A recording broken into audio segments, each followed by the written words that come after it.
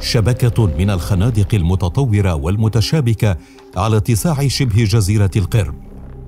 هكذا فعلتها روسيا ونفذت تحصينات عسكرية. ربما هي الأعقد في تاريخ الحروب المعاصرة وبوقت قياسي. ما يشي بأن الجيش الروسي يدرك أنه يستوجب عليه الدفاع عن شبه جزيرة القرم في المستقبل القريب. بعد أن سيطرت موسكو عليها بعد حرب خاطفة مع أوكرانيا عام 2014 وكل هذا يحدث بالتزامن مع تركيز أمريكا ومعها كل الغرب على هجوم الربيع العكسي الذي من المتوقع أن ينفذه الجيش الأوكراني لاستعادة أراضٍ سيطرت عليها روسيا بما فيها القرم ضمن خطة محددة وضعتها الدوائر العسكرية الأمريكية. حتى أن بعض هذه الخطط لم تصل فقط ليد موسكو بل نشرتها أيضا على الملأ. حيث بدأ البنتاغون تحقيقا في اختراق استخباراتي روسي هو الأكبر.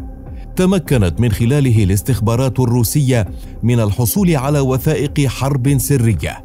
تصف حالة الجيش الأوكراني وخطط أمريكا وحلف شمال الأطلسي الناتو لهجوم الربيع. وتحتوي على معلومات حول 12 لواء أوكراني قيد التشكيل. تسعة منها تم تدريبها وتزويدها بالأسلحة من قبل أمريكا وأعضاء آخرين بالناتو. وبعد تزويدها بنحو 550 دبابة وعربة مشاة. ستكون كلها جاهزة بحلول الثلاثين من أبريل. كما تضمنت خطط الهجوم مخططات لتسليم الأسلحة المتوقعة وقوة الجيش والكتائب. وعلى كييف أن تلتزم بها بتنفيذ الهجوم قريبا بحسب تقارير إعلامية خاصة بعد تعهد القادة الأوكرانيين لواشنطن باستعادة جميع الأراضي من روسيا ووعود الرئيس الأوكراني فولديمير زيلينسكي في عدة مناسبات باستعادة جيشه لشبه جزيرة القرم وأن يرفرف علم أوكرانيا فوق جميع الأراضي الأوكرانية. وقد بدأ فضح تحصينات موسكو في شبه جزيرة القرم مع كشف أقمار اصطناعية عن حفر قوات روسية خاصة لشبكة من الخنادق المتطورة تمتد على مسافة أميال عدة في محيط بلدة ميدفيديفيكا بالقرب من معبر يربط القرم بالبر الرئيسي لأوكرانيا.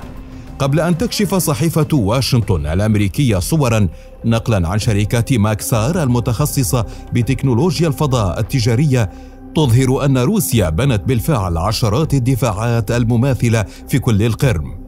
من خلال شبكة من الخنادق أقيمت خلال أسابيع وحفرت بزوايا تمنح الجنود مدى أوسع لإطلاق النار. بينما توجد تحصينات أخرى غير بعيدة عنها تضم خنادق عميقة مصممة لاحتجاز الدبابات والمركبات الثقيلة. حتى أن بناء التحصينات العسكرية شمل بلدة فيتينو الواقعة على الساحل الغربي لشبه جزيرة القرم. ما يعني مخاوف روسية حقيقية من أن تتعرض البلدة لهجوم برمائي؟ ورغم أن الخنادق والتحصينات بنيت بسرعة فائقة بحسب تقارير أمريكية تحسبا للهجوم الأوكراني المتوقع في غضون أسابيع أواخر فصل الربيع أو ربما بين يونيو ويوليو من العام 2023 الحالي على أبعد تقدير.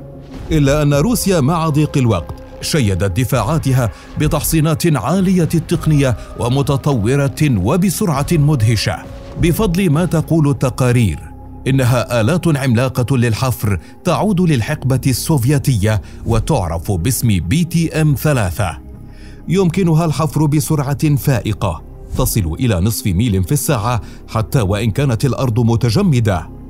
ولطالما أثارت آلات الحفر تلك دهشة الجيش الأمريكي ومنذ زمن بعيد حيث ورد في تقرير عسكري أمريكي داخلي في عام 1980 أنه لا يوجد مثيل لآلات الحفر تلك في كل الولايات المتحدة وأوروبا واليابان. هجوم الربيع والكائن رقم ستة.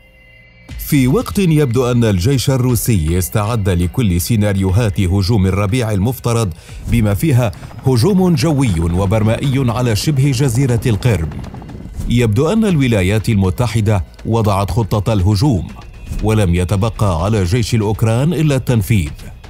ورغم عدم إمكانية الحسم في ماهية وتفاصيل هذه الخطة إلا أن تقارير عسكرية متخصصة ذهبت إلى أن تحركات الجيشين الأوكراني والروسي على عديد الجبهات قد تظهر بعض ملامح الخطة الأمريكية التي توقعها الروس. ولا أدل وفقا للتقارير عن قرب هجوم الربيع وتضمنه القرم الزيارة المفاجئة التي قام بها الرئيس الروسي فلاديمير بوتين إلى القرم بالذكرى التاسعة لضمها. وبدء القوات البحرية الروسية بتوزيع تشكيلاتها في البحر الأسود وحول محيط القرم. ونشر عشرين سفينة بما في ذلك حاملات الصواريخ وعدد كبير من وحدات الأسطول. مع إعلان البحرية الروسية عن إمكانية تسليح جميع الغواصات. بما في ذلك الغواصات الاستراتيجية بالصواريخ من طراز كاليبر. إضافة إلى حفر الخنادق والتحصينات على امتداد القرم. وعلى الجانب الأوكراني تشكلت قوات تبلغ أربعين ألف جندي. قرب قرية بريشيب في مقاطعة دينيبروبتروفسك وذلك لزجها في معركة ما. خاصة وأن تلك القرية تقع في مكان استراتيجي بالنسبة للقرم على بعد 150 كيلومتر من مدينتي ماريوبول وميليتوبول. وعلى مسافة 150 إلى 160 كيلومترا من شواطئ بحر آزوف. كما يتحدث خبراء عسكريون. عن أن مؤشرات مهمة تشير إلى تضمن خطة أوكرانيا مهاجمة شبه جزيرة القرم.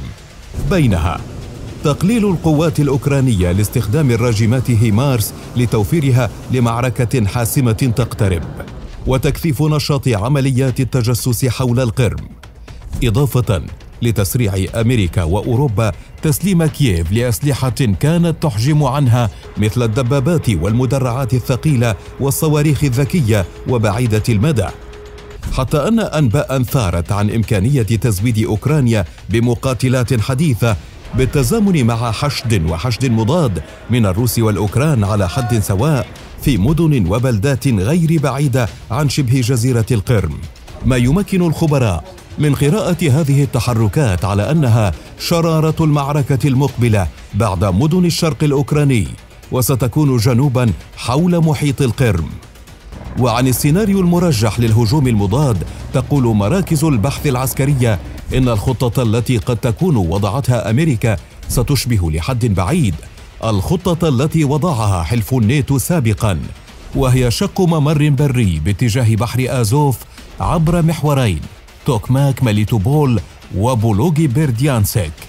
مع تأمين تغطية جوية قدر المستطاع وبالتزامن مع التوغل من المرجح تنفيذ قصف عنيف باستخدام هيمارس على مواقع الجيش الروسي في محور فولنوفاخا ماريوبول لمنع القوات هناك من التقدم وشن حركة القوات الروسية على يمين نهر دينيبر في خرسون. حيث سيصعب عليها صد الهجوم وحدها من دون قوات ماريوبول.